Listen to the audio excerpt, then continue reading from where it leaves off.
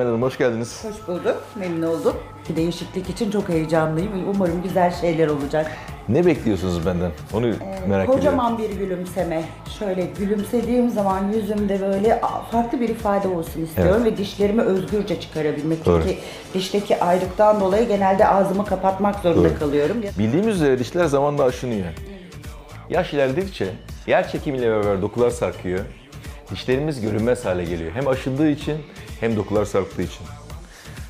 Seneleri geri almanın yolu ne? Bazı özel illüzyonlarla dişi daha uzun göstermek, dudağı desteklemek, dişin üzerindeki çatlakları gidermek. Ve bu çok özel aşamalardan oluşuyor. İsterseniz gelin bu aşamalara başlayalım. Hadi bakalım gelin. Buyurun. İşleme öncelikle ağzı sağlıklı hale getirerek başlıyorum. Diş taşlarını temizleyeyim. Diş taşlarını temizledikten sonra dişlerin yüzeylerini cilalayayım.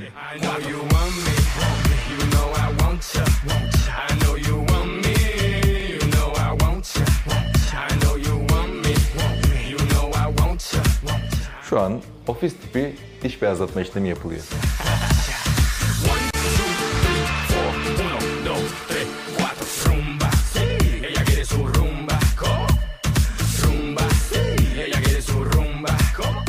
3 boyutlu bilgisayar destekli yöntemle diş yapacağız. Çok yeni yöntem bu. Son senelerde çok popüler hale geldi.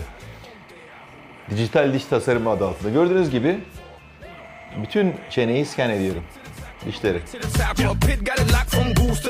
Gördüğünüz gibi dişteki aşınmalar, çatlaklar burada çok belli. Amacım değişik bir tasarım yapmak. Tasarıma şimdi başlıyorum. Bir tane dişin porselen bloktaki duruşu görülüyor bu şekilde. Gönderdik. Şimdi gelin isterseniz içeri bakalım nasıl gidiyor işlemler. Böyle bloklar var. Bunlar özel yapılmış porselenden oluşuyor. Makinenin içine koydum ve bilgisayardan gönderdiğim veriyi burada üretmeye başladık. İsterseniz gelin yakından nasıl olduğuna bakalım. Estetik olan her zaman doğal olan demektir. O yüzden karakter giriyorum biraz. Emel Hanım'la keyifli bir çalışmayı geride bıraktık.